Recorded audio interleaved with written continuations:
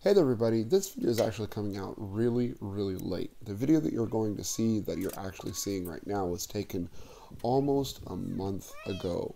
Um, and this is a video just about how we collect our potatoes, put them down in the in the root cellar. Not much uh, deep information, just a quick video, so I hope you enjoy.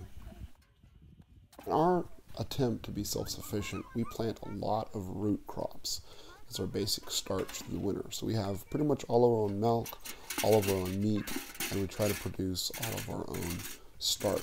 Potatoes, carrots, beets, those are a really good root crop. They store well.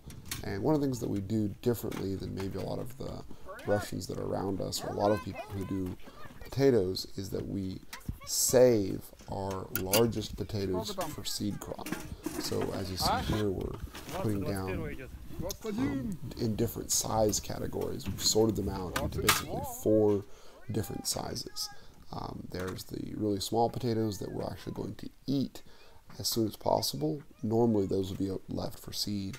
Then there's the medium sized potatoes that we will eat during the winter.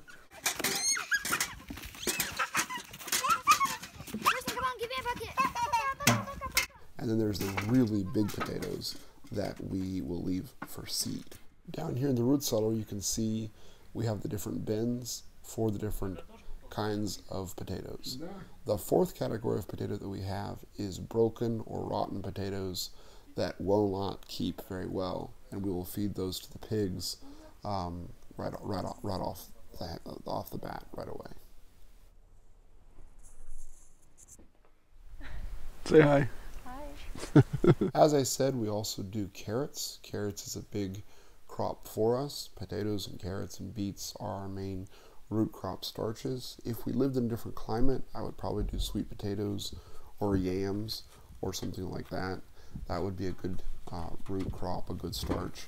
But in our particular climate, we have uh, we can really do potatoes and carrots and beets really well. So this year our potato crop was really good, and our beet crop was really good.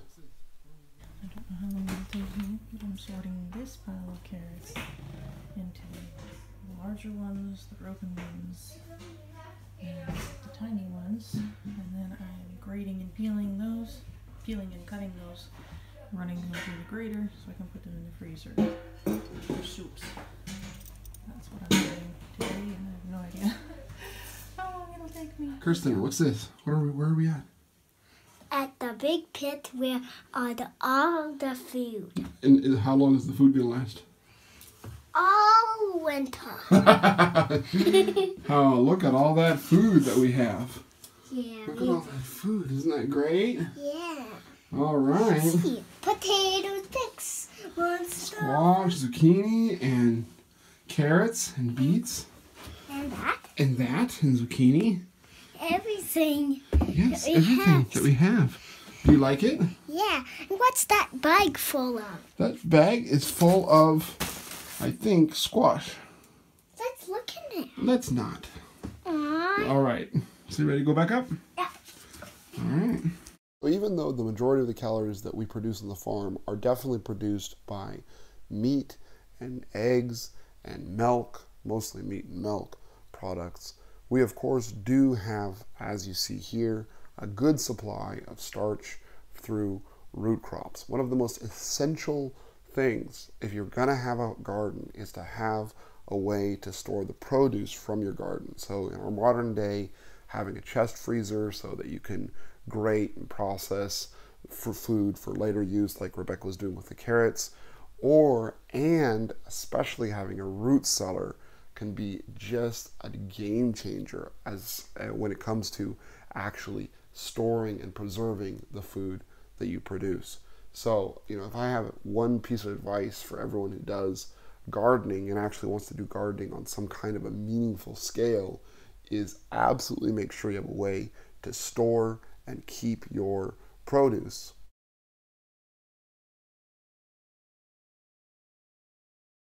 As I said, a chest freezer can definitely do that for you, but but a root cellar because it doesn't depend on electricity, because it's a very simple and very large scale way of storing food in a meaningful way can be just an essential tool in any small scale homesteading, survivalist, or just backyard gardening, backyard farming context. So, definitely, definitely, when you're putting in your homestead, when you're thinking about doing a garden, think about a root cellar.